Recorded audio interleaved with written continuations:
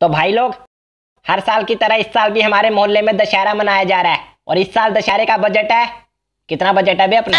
अबे यार हमने उसका हिसाब तो लगाया ही नहीं। चल कोई बात नहीं तू दस लाख बोल दे। अबे दशहरा मनाना है इनका दिवाला नहीं निकालना। तो हाँ इस साल हमारा बजट है। अरे भाई जल्दी करो यार मेरे को केबीसी भी देखना है। अच्छा आप बिग बॉस नहीं देखते? नहीं यार तब तक तो मैं लुढ़क जाता हूँ मतलब सो जाता हूँ। ओ ओ झोपड़ी वाले चच्चा अभी बात सुन लो वरना यहीं हॉट सीट पे बिठा दूँगा। हाँ तो इस साल का बजट है एक लाख। क्यों? पिछले साल तो पाँच हज़ार था। लो अब ये भी बोला। हाँ तो पिछले साल रावण भी सिर्फ़ सात फुट का था। हाँ उस रावण को देख के समझ नहीं आ रहा था। इसको आग लगाए के ग्लूकोज चढ़ाए? अरे यार जल्दी करो मेरा बिग बॉस भी शुरू हो जाएगा और मेरा केबीसी कल्लू रावण बाद में फूकेंगे पहले इन दोनों बुड्ढों को फूकते हैं तेल लेके आ। भाई रावण के लिए पटाखे मेरी दुकान से ले लेना।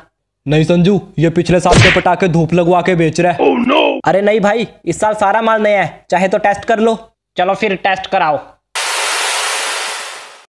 बेटा इसको थोड़ी और धूप लगवा। oh, no! अरे चिंता मत करो मरा नहीं है सिर्फ़ बेहोश हुआ है। हाँ तो भाई कितने पटाखे का ऑर्डर दे रहे हो? हाँ कल्लू इसको पटाखे का ऑर्डर दे जरा। अरे साइड में आ। नहीं रहने दो भाई।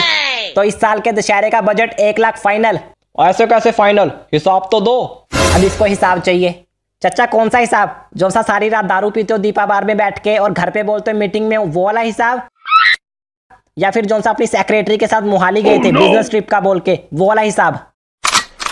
चचा आप चिंता मत करो। मैं दशहरे का हिसाब और आपका हिसाब किताब दोनों चाची को दे आऊँगा। बस बहुत हो गई मीटिंग बेटा तुम्हारा हिसाब बिल्कुल ठीक है। पाँच सौ हज़ार कम पड़े तो मुझसे ले लेना पर हिसाब अपने पास रखना। तो भाई लोग आपका इस दशहरे के कार्यक्रम में स्वागत है। तो इस बार जो हमारे चीफ गेस्ट हैं उन्हें बच्चा बच्चा जानता है। स्वागत कीजिए मास्टर पनीर का। ये है कौन है भैया? ये सिंगर सिंगर। हाँ ये सिंगर है।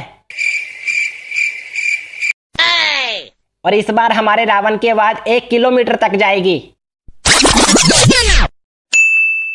सुनो बे एक भी पटाखा नहीं बचना चाहिए रावण के अंदर। मेरे पटाखे लगाने से मना किया था ना इन्होंने।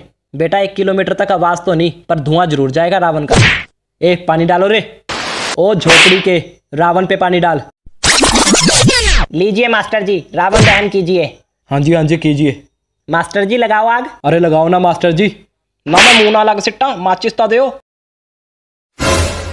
अरे बेटा क्या हुआ? ग्लूकोस नहीं पिलाया रावण को? मेरे पटाखे कम से कम चल तो रहे थे। ये लाया साइलेंट पटाखे। अबे चलेंगे रुको एक मिनट मास्टर जी एक बार और कोशिश कीजिए। ये चल क्यों नहीं रहा? दिक्कत कहाँ है?